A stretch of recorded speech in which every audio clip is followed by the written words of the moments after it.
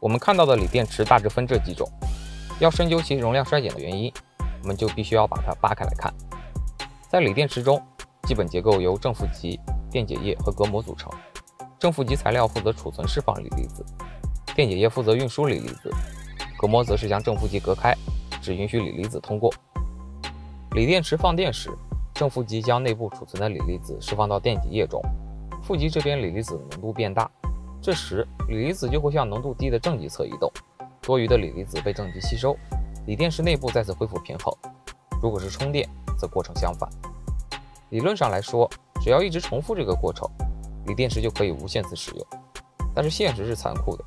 只要锂电池开始充放电，正负极和电解液就会受刺激，发生化学反应被消耗，电解液分解，正极破裂，负极坍塌，储存和运输锂离子的物质变少了，而且无法补充。锂电池可用容量就减少了，容量的衰减就像是长皱纹，正常状态下比较慢，但是我们需要警惕，什么时候会加速它的衰老？锂电池最适合的工作温度是十五到三十五摄氏度。根据实验报告证明，同一款磷酸铁锂电池在五十五摄氏度下持续工作，寿命只有二十五摄氏度时的七分之一；